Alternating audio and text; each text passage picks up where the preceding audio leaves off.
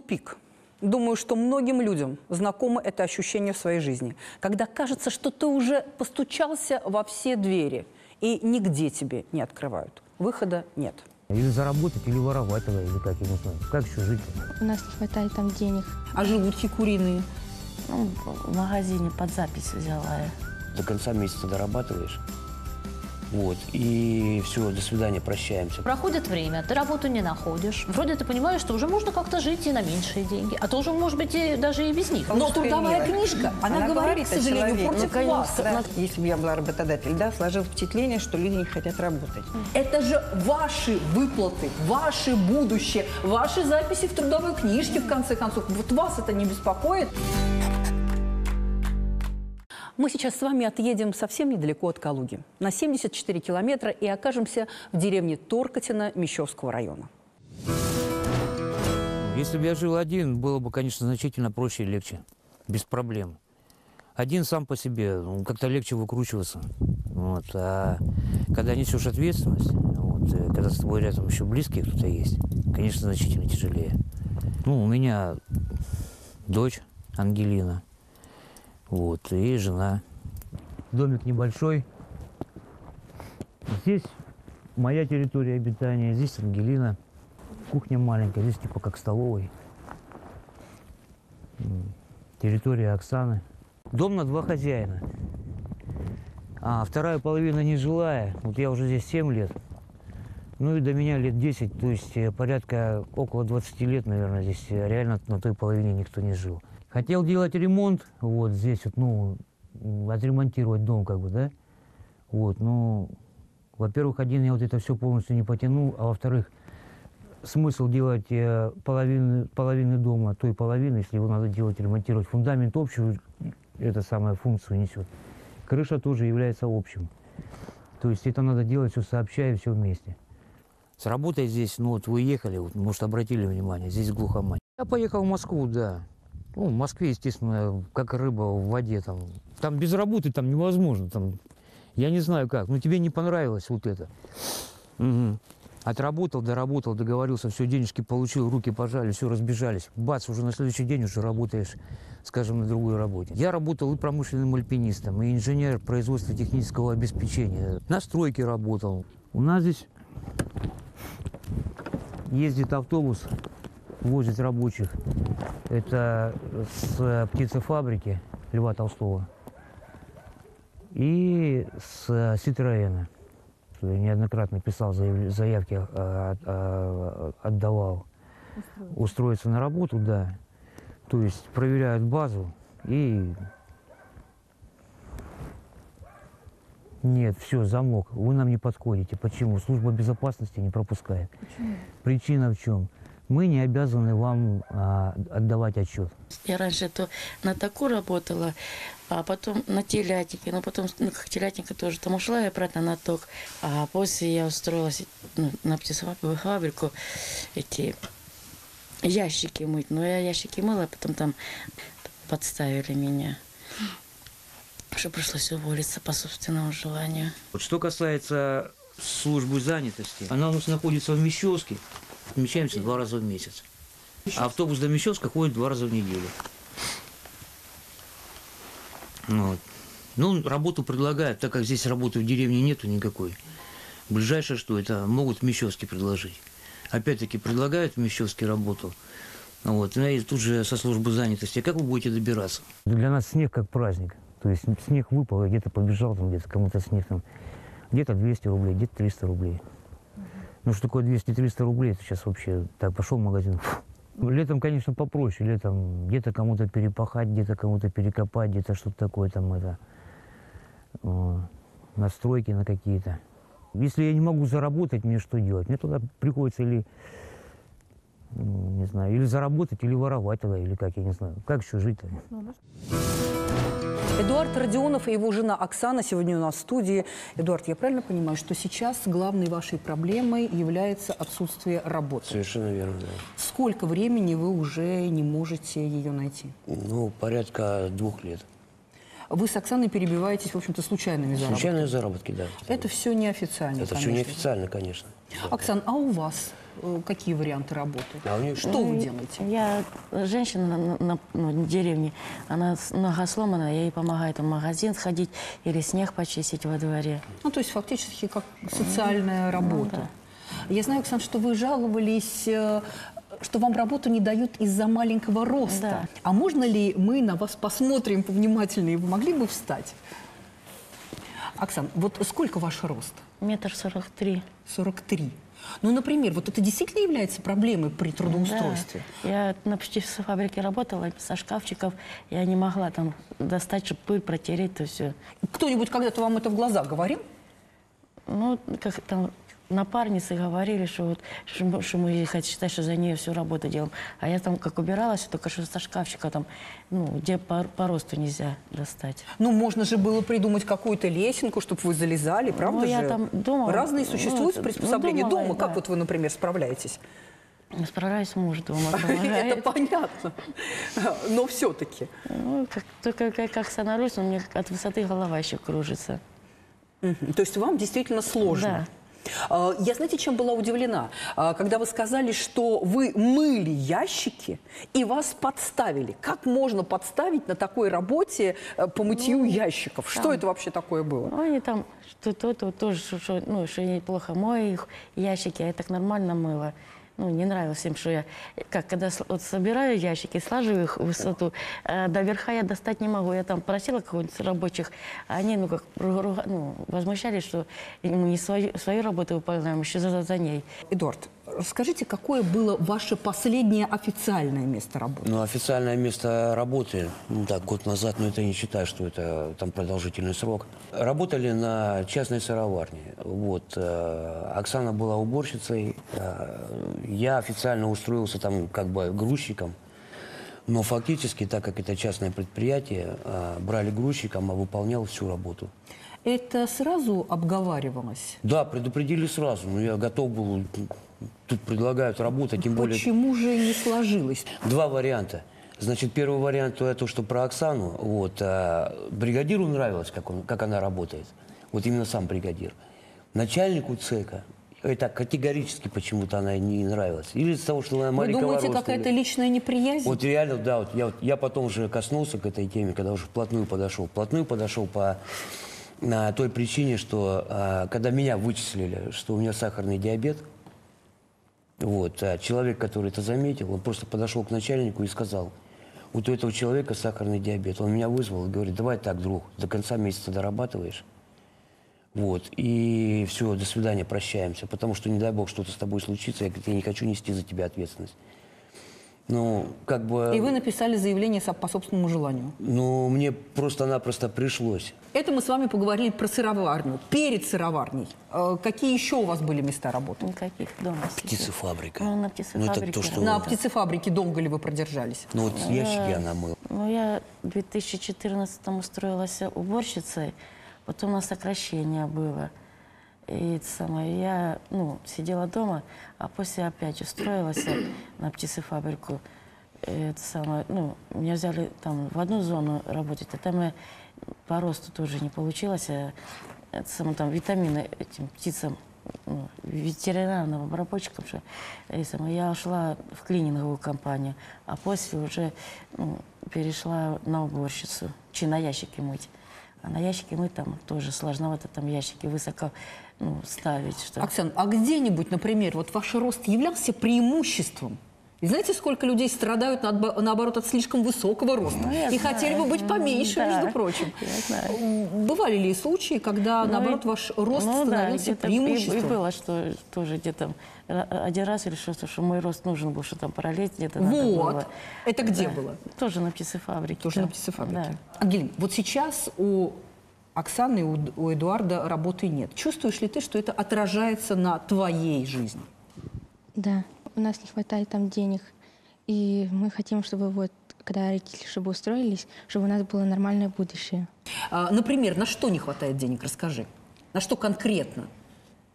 Ну, иногда мы не можем себе много еды купить. Расскажи, вчера что ты ела?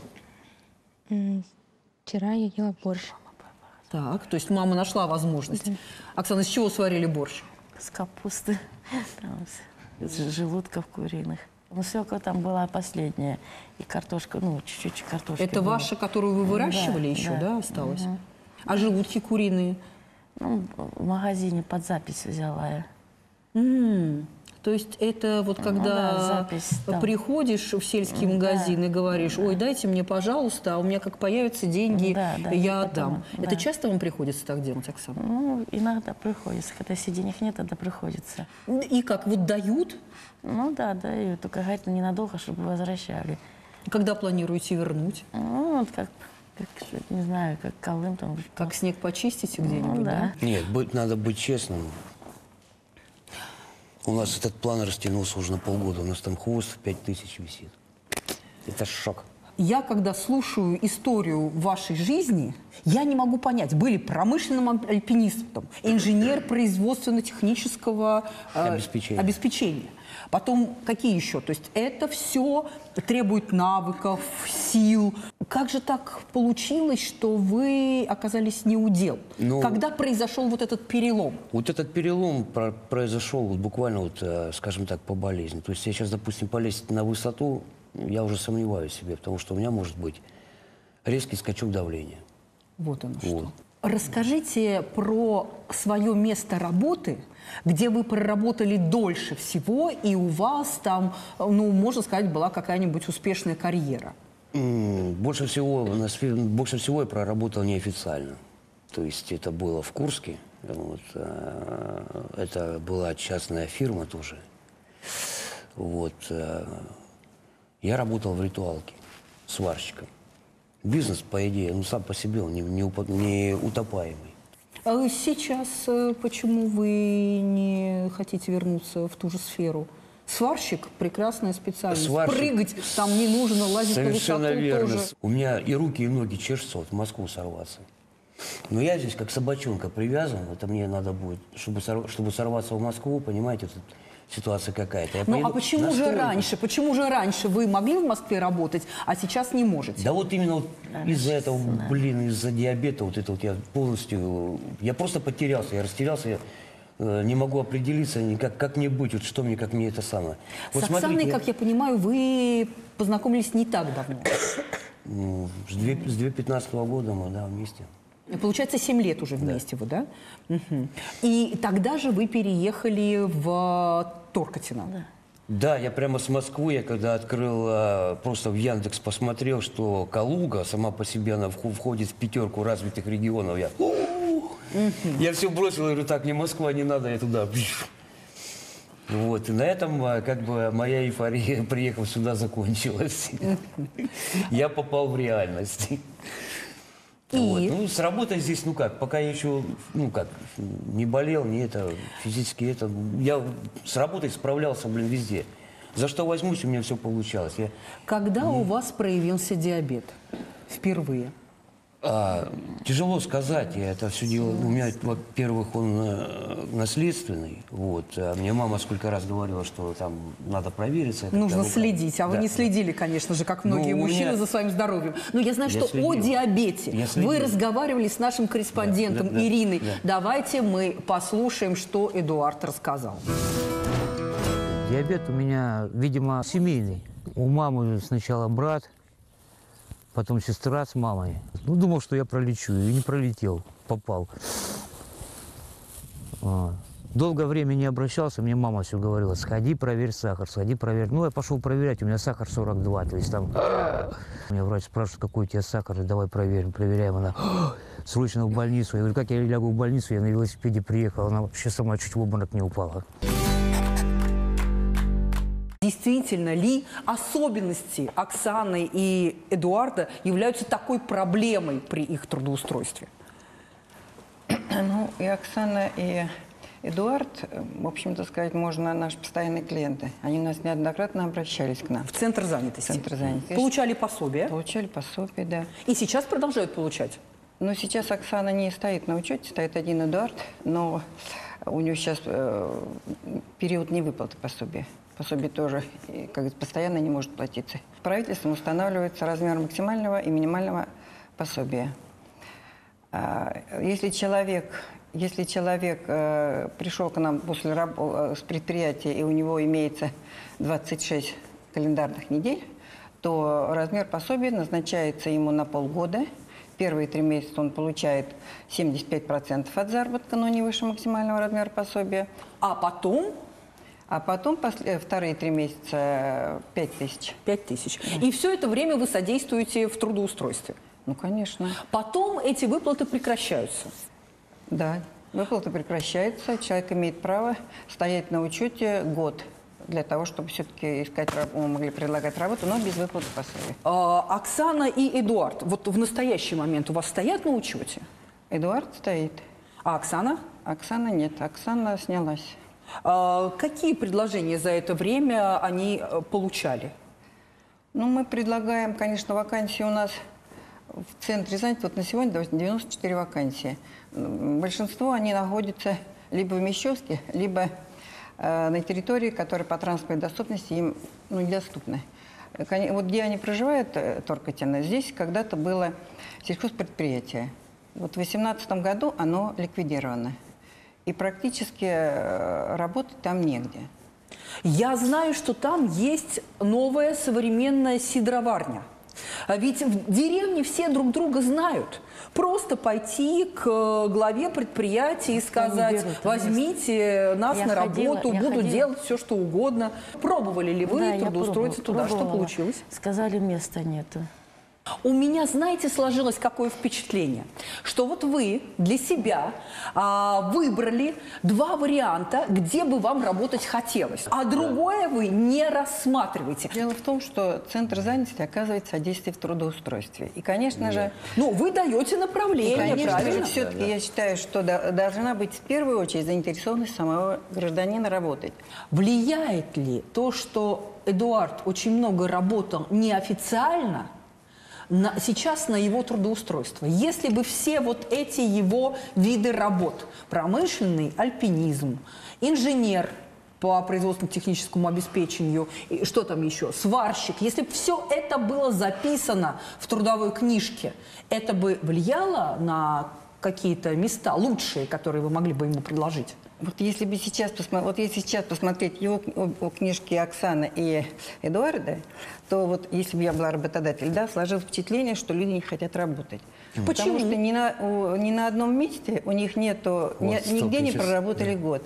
Месяц, два Неправда, месяца, ну, три месяц, месяца, пять месяцев. ладно. у меня все это есть. Это по трудовой книжке, вы Да. понимаете, да. Поэтому Эдуард, мы вам верим, книжку, что они вы работали да. долго, хорошо, что это было серьезно, Вот мы верим. та же Но трудовая Нива. книжка, она, Она говорит, к сожалению, против Ну, вас. Калужской понимаете? Вот вы говорите месяц-два, да, месяц-два, там, может, пять месяцев где-то работал, да?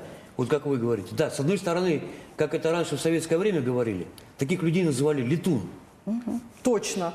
Так Вот и было. да, был, да, был да, вот такой, реально. был такой Короче, термин. у меня- Вы на- на- на- не на- пожалели о том, что вы соглашались работать Вообще, без честно, официального честно, устройства? не жалел. Честно, не жалел. Тем более, когда работодатель кидает э, э, на удочку наживку вот такую, то есть э, говорит тебе, что ты, допустим, грубо говоря, официально будешь получать 30 тысяч, а неофициально 40 тысяч.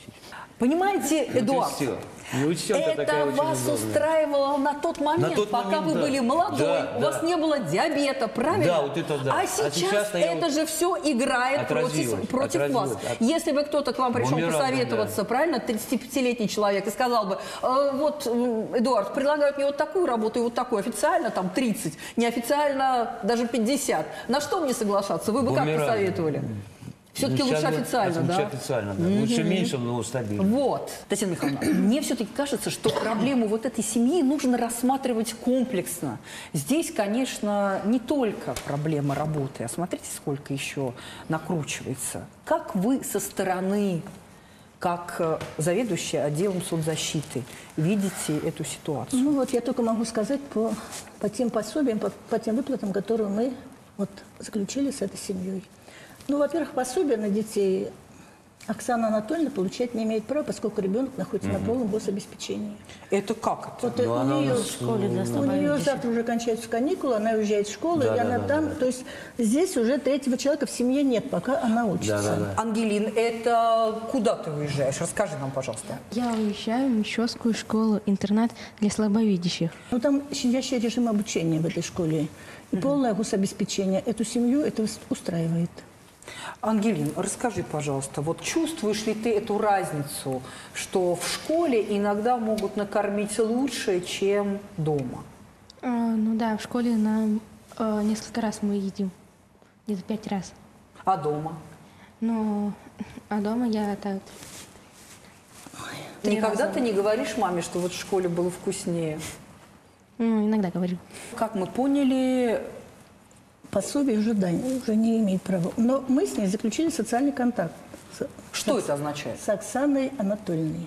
Это означает, что социальный контракт – это мера как бы социальной поддержки для того, чтобы семья, это как толчок, как, чтобы семья вышла на самообеспечение.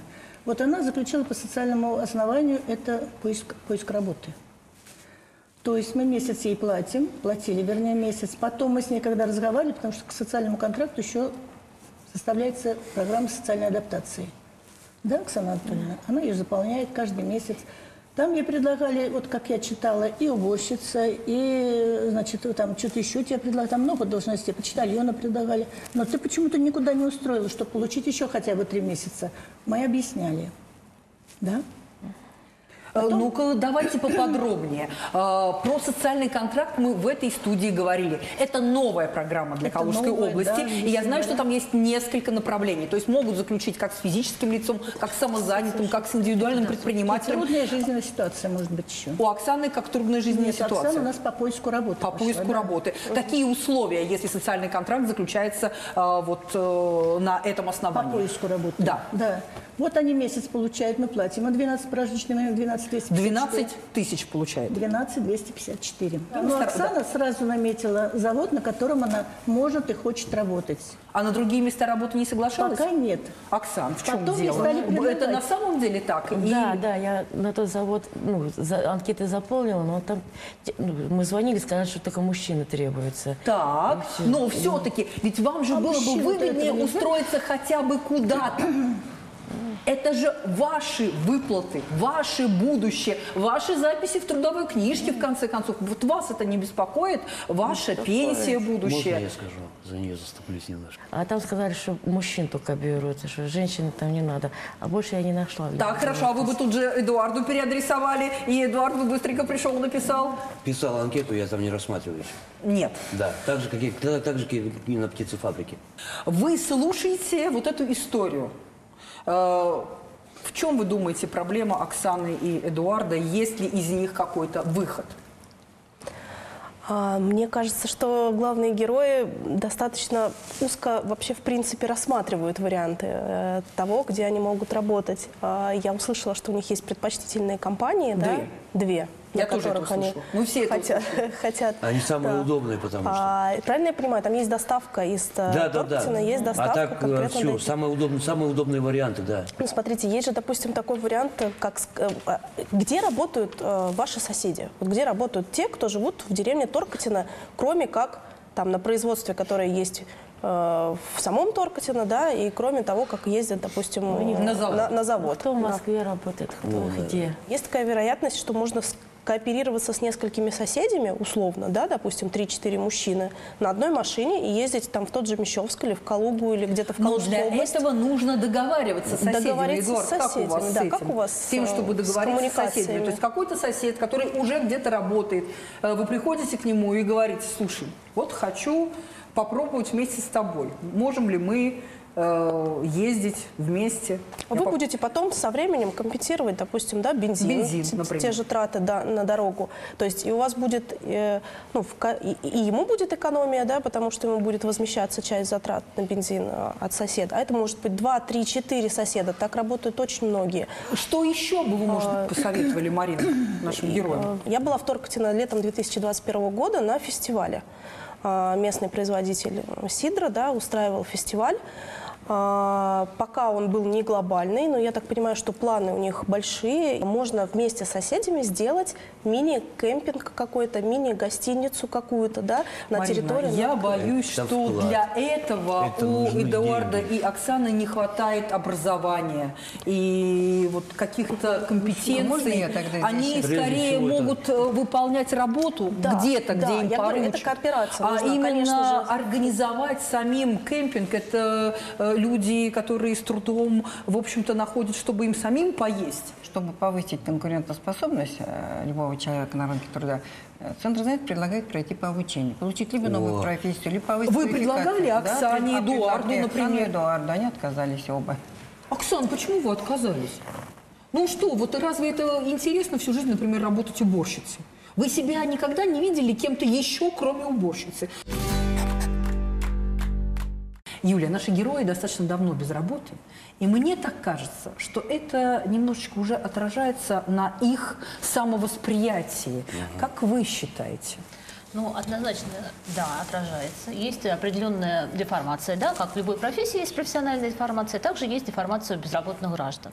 Когда человек теряет Какая? работу, Какая ты появляется? только потерял работу, у тебя страх, да, страх потери, страх того, что тебе не хватит средств на существование, а, желание быстрее работу найти. Но проходит время, ты работу не находишь, вроде ты понимаешь, что уже можно как-то жить и на меньшие деньги, а то уже, может быть, и даже и без них, да, вот где-то подсобное хозяйство, где-то чем-то перебился, вот как наши герои говорят, и уже происходит такое успокоение, да, ну и ладно, ну и так. Мы все прекрасно понимаем, что работу найти в районе сложнее, чем в городе. Но ситуация на самом деле одинаковая, что в в областном центре Калуги, что в других маленьких городках наших, э, нашей области, да. Э, Желание, э, гибкость и желание обучаться, и готовность обучаться. Больше, в принципе, ничего не нужно для того, чтобы работу найти. Есть определенный стереотип. Мы будем работать там-то, там-то и там-то. Каждый из нас хотел бы, конечно, чтобы у меня была работа рядом с домом, чтобы там были комфортные условия, чтобы мы хорошо зарабатывали. Но, к сожалению, найти такую работу, это все равно, что выиграть в лотерею, да? Не всегда получается. Значит, все-таки планку надо снижать. Планку транспортной доступности, планку там, не знаю, зарплатную какую-то, ну, у кого какая ситуация. И И одновременно, обучаться. возможно, повышать планку требований к себе. Естественно, Что естественно. нужно как-то меняться, переобучаться, приобретать какие-то новые Готовность- навыки, которых не обязательно было. получать новые нав- навыки, знания и так далее. Это не единственная история, когда люди долго не могут найти Конечно. работу. С одним из клиентов Центра занятости, а, чья история трудоустройства была не столь идеальна и благополучна, мне удалось поговорить. В основном не берут из-за того, что возраст. Ну, человек, не- я не понимаю. Заходишь просто на собеседование, спрашивают, а возраст у вас какой? 50 только сказал, говорит, дальше не надо, до свидания. Вообще разговаривать не хотят. Я вам не понимаю, ва- вам возраст нужен или работа от меня? Когда у вас не получилось на одном предприятии, вас попросили уволиться, потом на другом, вроде сначала взяли, потом нет, что вы почувствовали? Да, конечно, разочарование. У вас было такое чувство, что, может быть, вы и не найдете уже работу? Было. Не, ну, такого не было. Я то, товарищ такой, как тебе сказать, упрямый в этом отношении. Я добьюсь. Вообще, ищите, да обрящет. Такая история вас вдохновляет? Конечно, вдохновляет. С удовольствием. То есть, э, допустим, ищу работу, подборку по интернету, по Калуге. Вот и для жены, и для себя. Вопрос только, требуются люди? Да, требуются. Вот, э, с откуда? вопрос только доходит э, до... И зарплата устраивает, нас, допустим, устраивает. Вот. И условия работы устраивают. Вот. Мы находимся территориально там-то. Вопрос, как с проживанием? Ребят, с проживанием никак. Все, хлоп, до свидания. Я ведь тоже посмотрела, что в районе вашего Торкотина находится. Помимо сидроварни, которую мы уже упоминали, из которой у вас не сложилось, есть а- асфальтобетонный завод, Раз, есть пилорама. На пилораме работали? А, где-то. Пробовали А устроиться? кого где-то? В- Это Google карты показывают то, что Это- есть в районе а, вашего это- Торкотина. И есть гончарный завод. То есть, Вот если бы я гончарный. вдруг Вот жила в гончарный. Торкотино, я бы в первую очередь смотрела бы вот, вот эти... гончарный как раз созвонились, дозвонились, приехали. Ну, быстренько машину, там через день, короче, на следующий, через день мы приезжаем. Вот он говорит, ребят, говорит, вы извините, конечно, ну, я взял, говорит, здесь вот именно с. То есть вы считаете, что в результате вас туда не взяли, потому что вы Выгода, далеко конечно, живете? Совершенно верно, да. А, Тем Вы более знаете, хочу сказать, бензин. Эдуард, что о вашей проблеме мы разговаривали с главой Мещовского района. И давайте послушаем, что он нам рассказал. Есть возможность работать. В принципе, не задерживался долго. Много раз отказывался от работы, которую мы предлагали. Очень э, сложный момент. А такие люди были и в советское время. Правда, там статья у нас была такая за тунеядство. Есть такой бизнес очень хороший. Они занимаются тем, что живут на пособие, на льгот и хорошо существуют. У меня работают работники, они там за 17-17 тысяч. А есть люди получают пособие по 20, по 30 тысяч. Ну и зачем ему работать? Это наша боль. Наверное, здесь вот политика государства немножко не в ту сторону идет. С деревнями они как-то не в том направлении двигаются. Хотя, конечно, урбанизация это хорошо, но урбанизация идет за счет чего? За счет деревень. Если в деревнях никого не останется, кормить-то город кто будет? Первое, что надо делать, людей любить. А если ты любишь человека, то им, им надо помогать. У нас других людей нет. Это наши самые люди, самые прекрасные, что у нас есть с вами. Им надо помогать. Просто надо помочь человеку, чтобы он встал на ноги и дальше двигался. Как мы с вами слышим, Владислав Георгиевич настроен помочь людям в целом и данной семье в частности, но при этом отмечает, что есть целая политика, когда люди более склонны получать пособие и выбирать вот этот путь да. жизненных пособий. Татьяна Михайловна, насколько это вообще популярно? Мы 30 контрактов заключили социальных по, по- только по поиску работы. Из них Как человек- был у Оксаны. Да, да. А Здесь- сейчас Оксанин контракт продлен или вы не смогли его? Нет, мы не, мо- не можем продлить, она не трудоустроилась. А сколько он продолжился? Он может заключаться на 6 месяцев, может на 9, потому что когда мы ставим программу социальной ад- адаптации, мы всегда с ними бес- беседуем, на, на каком режиме, как, в какое время вы можете трудоустроиться. Кстати, мы вот этому молодому человеку тоже предлагали социальный контракт. Он сказал, я оформляю инвалидность, мне не надо, вот с Оксаной заключайте. Да, на тот момент. А Дело можно ли том, что- инвалидность и одновременно социальный контракт? Это возможно? Дело Но ведь действительно, когда э, диабет с высокими сахарами не компенсирован, это действительно Ну, это сложная должно ситуация. подтверди- подтвердиться медицинскими документами, что диабет, диабет Как это вы сложно. считаете, вот Эдуарду и Оксане, что сейчас стоит предпринять? Ничего, пока надо трудоустраиваться и все. Вот э, этот самый Эдуард стоит на, в занятости. По-моему, с 1 апреля у него начнется выплата. Он к нам потом придет. И мы как-то эту ситуацию ну, рассмотрим. Но все дело в том, что вот сейчас этот срок пока, у него только в 2021 году был контракт, он еще идет, как бы срок-то. Мы должны его мониторить, как бы эту ситуацию. Но мониторить здесь вот практически здесь негде- нечего, потому что она не работает, и никакого дохода, никакого увеличения. И семья не выходит из трудной жизненной ситуации. То есть 30 человек, которые, с которым был заключен тот контракт, 16 уже нашли работу. Остальные тоже пытаются, как это стараются, и мы им помогаем. Вот. А Оксана, она снялась с учета. Она не хочет, чтобы ей помогали искать работу, даже если... Оксана, вы не хотите? Хочется. Вы хотите? Не добираться туда, Мещовск. У нас автобус среда и пятница ездит. Но зато три дня в неделю среда и пятница. Или два дня? Сколько Два автобус? дня. Два дня. Два дня. Ну, за два дня можно и работать в Мещовске. Где Еще такую вариант. работу найти? Вариант. Можно еще рассмотреть один вариант. Это оказание, либо, заня- заня- либо самозанятостью заниматься, либо индивидуальной предпринимательской деятельностью. Здесь тоже Центр занятости оказывает помощь в размере 96 тысяч рублей.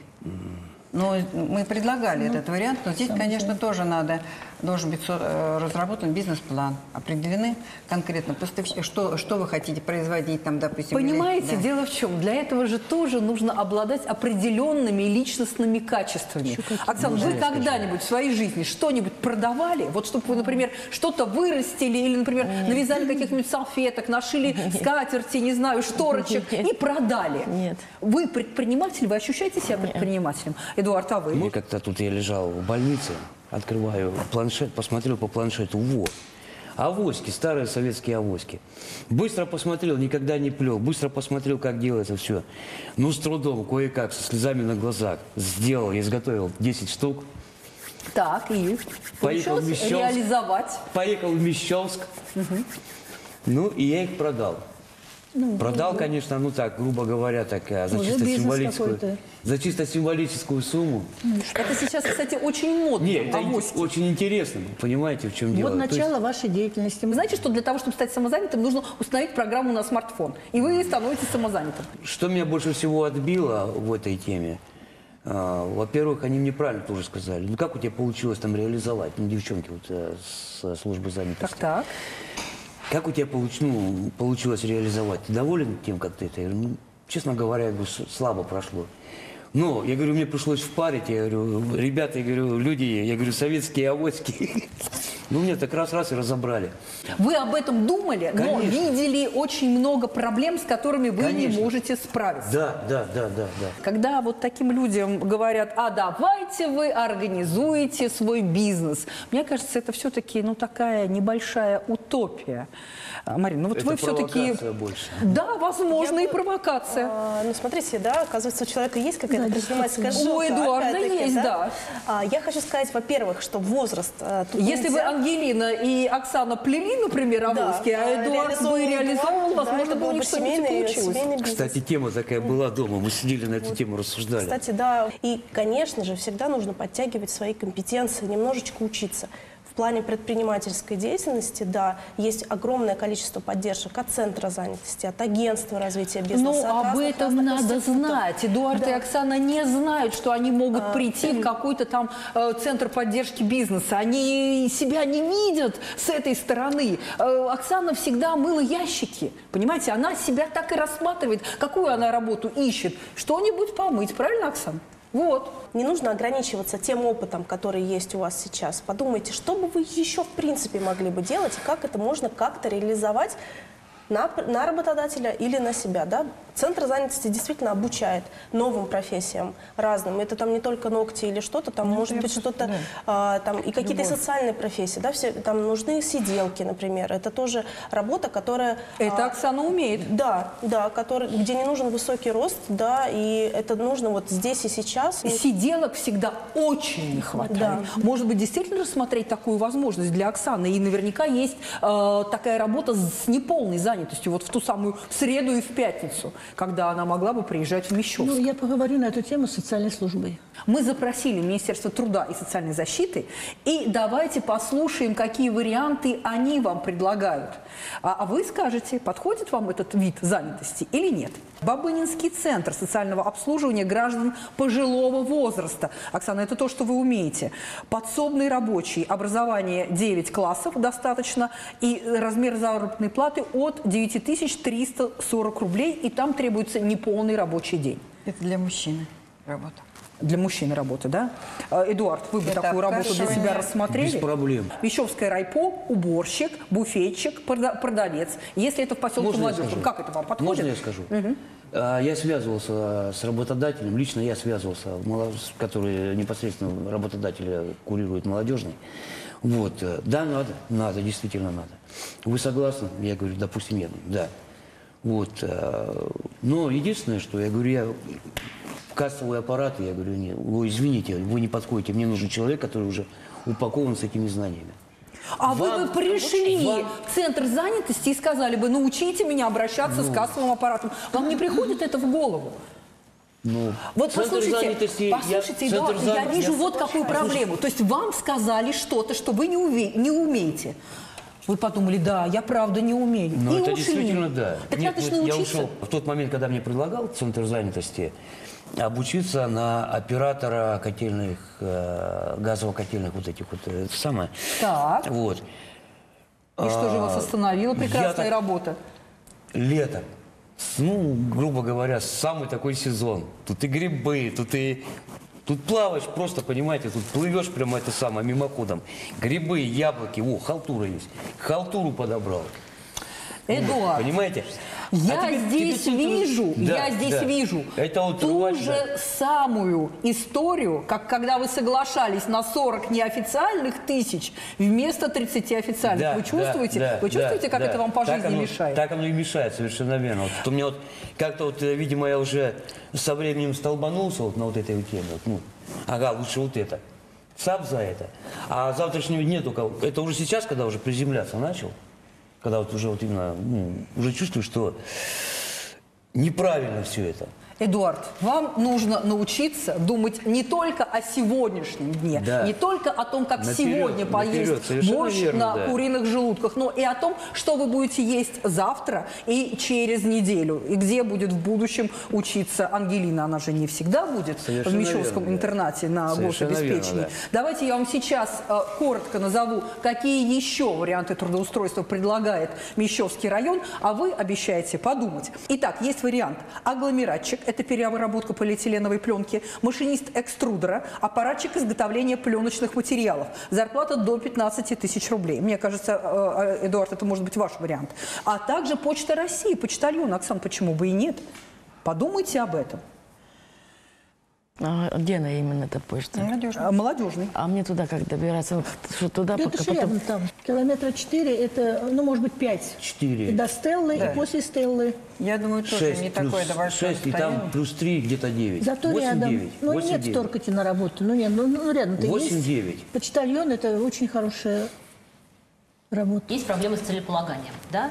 Это началось, видимо, еще с детства, где-то там с подросткового возраста. Эдуард сразу не получил профессию, Эдуард э, хватался за предлагаемую работу, не думая, что будет впереди. Сейчас вы поняли, да, что нужно уже смотреть на несколько шагов вперед, чтобы все-таки как-то себя обезопасить. Тот же оператор котельный, ну, прошло лето, но вы же вы учились не целый день, да, и успели бы и грибочки пособирать, и поучиться. А потом у вас вся зима, пожалуйста, работа посменная, и добираться может быть проще. Если Опять предложение же, Нины Дмитриевны еще, еще в силе, я да, думаю, что конечно. Эдуард может его Мне очень рассмотреть. понравилось все-таки, что у Эдуарда есть немножечко какие-то зачатки Предприимчивости. Предпринимательства. Да, что-то такое есть. Вот у него глаза прям загораются, да, когда он об этом говорит. Есть курсы предпринимательские. Я понимаю, что без образования, без опыта предпринимательской деятельности это очень сложно. Но Эдуард живет на земле. На земле можно много чего вырастить, да. Наверное, это тоже можно обдумать. Не зацикливаться, смотреть очень широко. Знаете, я вижу, в чем, наверное, вот функция государственных органов.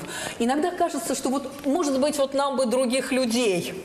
Другие люди какие-то вот были бы лучше. Но нет других людей. Есть такие. Нам нужно этих вдохновлять, взращивать и помогать им строить их же собственное Я лучшее просто знаю будущее. Оксану Анатольевну, она очень трудолюбивый человек. В общем, у них потенциал есть начать, ну, как бы заново учиться, потому что семья все-таки, Эдуард, семья, я не один.